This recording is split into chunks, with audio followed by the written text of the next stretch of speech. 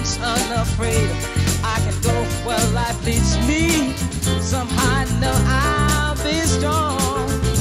For once I can touch He's fantastic, fantastic partner. He's a little bit of a drill sergeant, but I need that. May or may not have control issues.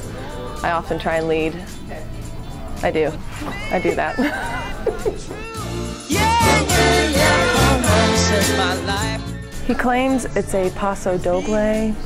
It's like the bullfighting dance, right? It's the I have something I know won't desert. Well, she's a really upbeat person. She learns very fast, and I do work very hard on her, so she better. but overall, she does a very good job, and she's really happy, and she's really fun to work with as well too.